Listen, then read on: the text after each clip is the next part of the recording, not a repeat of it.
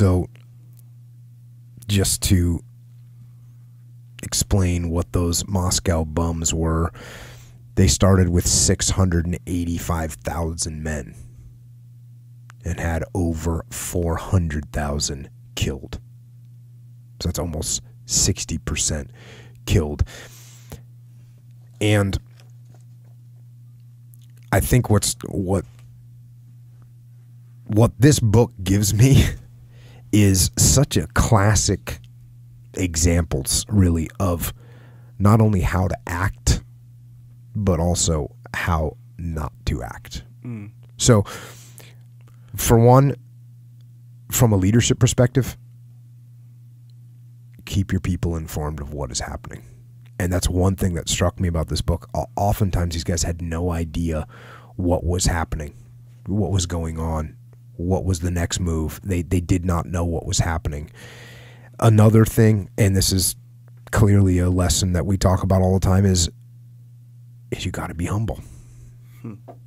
Because from Napoleon's perspective, he thought he could pull this off, right? But he under, underestimated Russia's strength. He underestimated the time it would take. He underestimated the readiness of his own troops. He underestimated their strategy. So, again, lesson learned for the millionth time be humble. And then getting to this, this, uh, this just that, that closing statement about Moscow bums. I think that is a great reminder to treat people with respect. And we talked about this, I think it was the last podcast or maybe the podcast before. That doesn't mean you have to respect people. Because if you don't know them, you can't just give away respect. But you treat people with respect because you don't know what they've been through. You don't know what struggles they've seen. How would you know that? And so when you throw out things like Moscow bum and you don't know that this is a guy that's been actually through hell, don't do that. And the last thing, you know, again, to take away from this book for me is to remember. You know, not just you in the business world, of course. Remember your frontline people. Remember what grind they're going through. Remember what it feels like to them to be out on the job site or in the factory or on the front line doing sales. Remember what that is. But also for everyone, remember the actual frontline troops. The suffering, the fear, the discomfort, the cold and the wet and the hunger. Remember that reality of war. And remember that it impacts those young soldiers and those young Marines. Remember them because it's really, really easy to forget.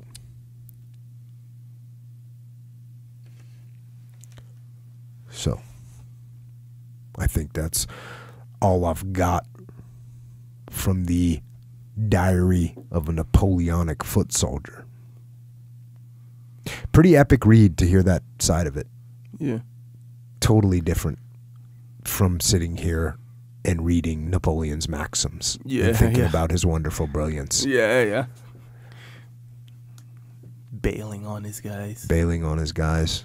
Oh, fresh reserves are here. Cool. I'm going to use them to get out of here. yeah, yeah. And you know, I, I get it. I was just reading another book. Uh, I can't I can't think of it off the top of my head, but it was it was talking about you know as a leader you're supposed to stay alive, right? Like you can't take unnecessary risks as a leader. You're you you can't be at the front of the assault. You shouldn't be. Sometimes you have to be, but you need to stay alive. Yeah. And so maybe you could give Napoleon a little credit there for that. Um, but maybe not. Maybe not too much. Yeah. Uh, so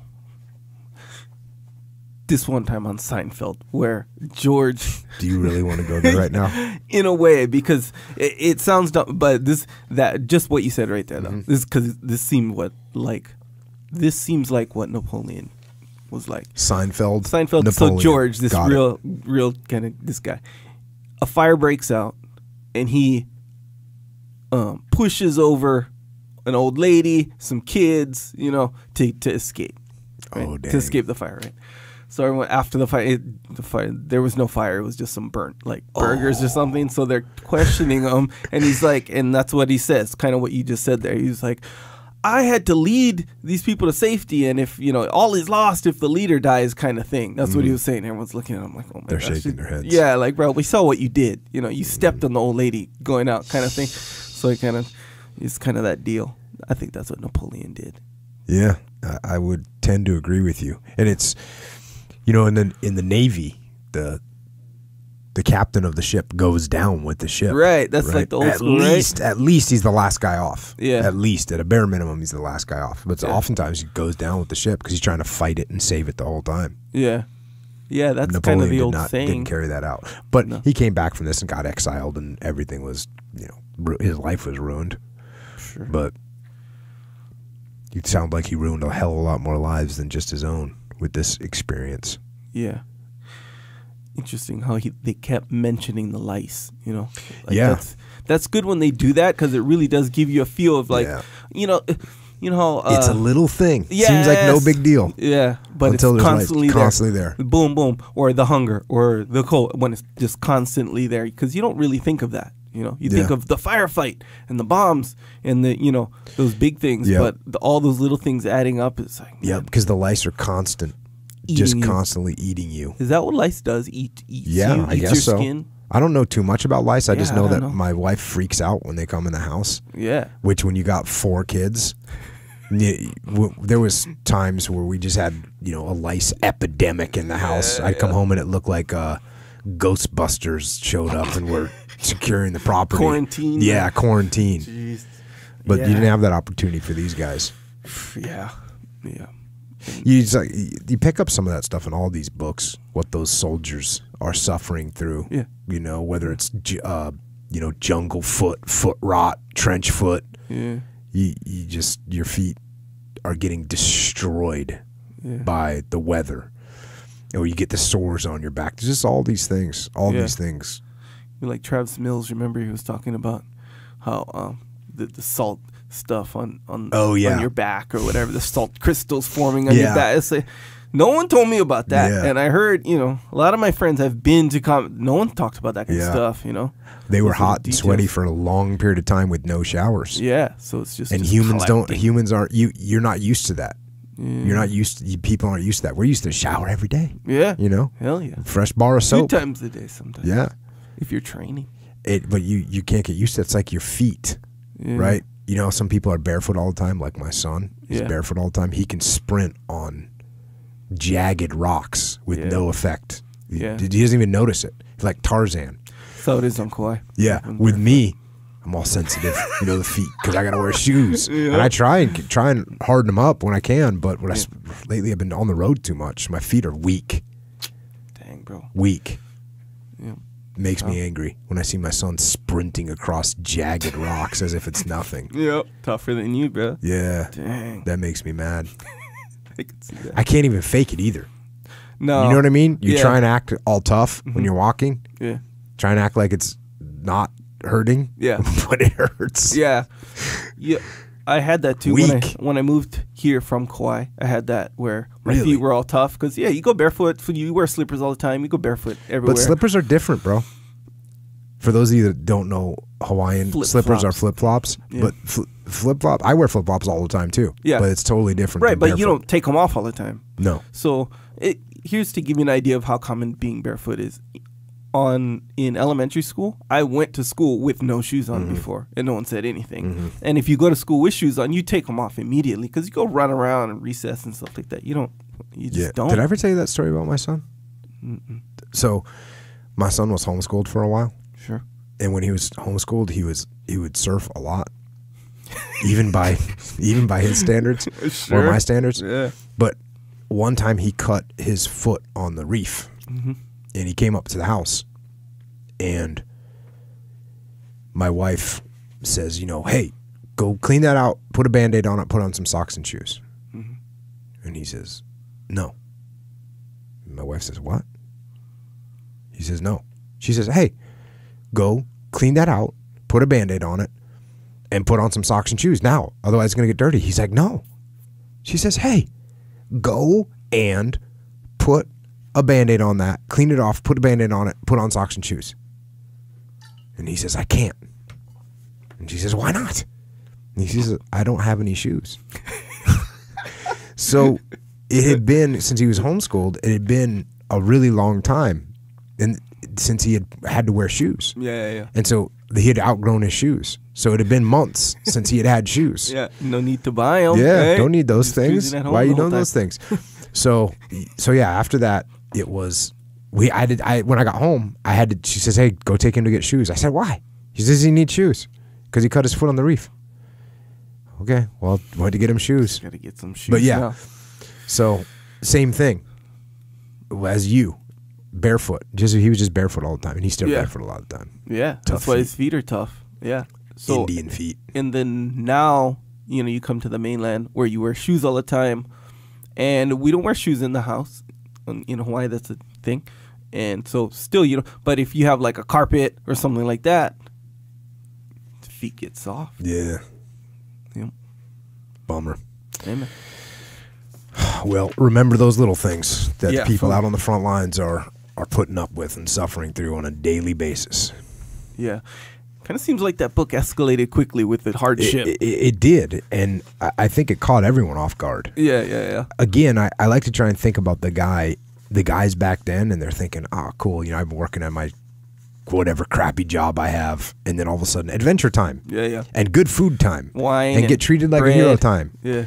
and and then they roll into the Russian campaign, and it's no, not, Not so cool. much. It's actually the exact opposite. Yeah, one second you're eating bread and butter and wine. Or was it brandy? Brandy, Both. wine, cheese. And then the next minute you're killing your friend for his clothes. Yeah, Because you gotta And, live. Yeah, I didn't cover some of those sections where he's getting robbed. They're gonna kill him. I mean, his own guys, Yeah. you know, or different. There's another little, you know, because it's French soldiers and there's some German soldiers that are on the same side. But what do you think happens when things go crazy? All of a sudden, they start forming their own the gangs, right? Yeah. They're gonna Yeah, stick that's how- together. Yeah. Horrible, horrible. Well, speaking of crappy jobs, Yeah. maybe you could do a crappy job of telling us how we could support this podcast. Actually, I'd prefer if you did a good job. I'm gonna try to do my best.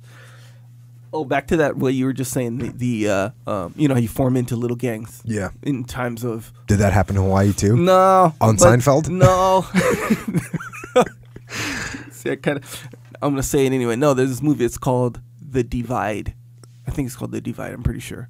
It's like this weird movie, Mm-hmm. and some apocalyptic thing happens in the beginning, and everyone like retreat in this apartment building retreats to the basement where the superintendent or somebody lives, and this guy is uh, uh he's like a one of these doomsday prepper type dudes, you know, Mm-hmm. Yeah. and and I think he even has a man a manual or something. He wrote a man. I don't know. So they all go down, but it's everybody. It's like you know a pre- a girl with uh, her daughter, um, you know some dudes, some you know they whatever. got the broad cross section of society. Exactly right. I, And- I don't. I haven't seen the movie, but I know the plot line. Yeah, Cool.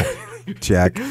But that's what they. That's essentially what the movie is about, right there. Where everyone's just we're all just people, right? We all live in this building. Yeah. We're all kind of, and then they start to just divide into um, Oh. teams and groups, and they fight, and and the harder stuff gets, the more violent it gets. Yeah. So they end up like killing each other in all these ways. Like certain people have certain assets. So they can offer like value to this group, you know, kind of thing, and it's all within like. Who becomes the dominant group?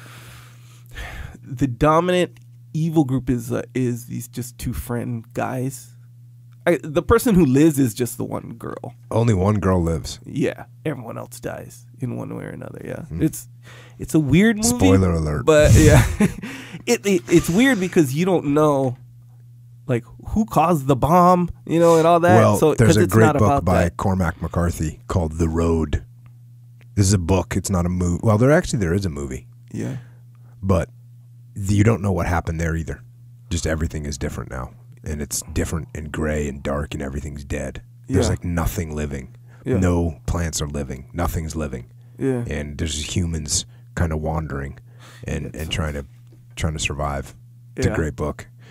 But yeah, but yeah, that's the, the movie. Essentially, they just kind of omit all these details. Like that doesn't make sense. That's why the movie's weird. But when you think about it, that's what the movie's about. We should put Cormac McCarthy The Road on the website for people to uh, to Uh, get see what up. along with the Diary of a Napoleonic Foot Soldier, so people can get this. This would be a hard one to get. I don't know. It's a rare book. I don't even know where I got it from. Check. Yeah. Where, yeah. S- Either somebody mailed it to me, which I appreciate. If it was you, let me know. Or I just had it. I don't know. I don't know where it came from. My books are out of control right now. Yeah. Yeah. It's good, man. You have a dope little collection. Yeah. it's not too little anymore. Cool.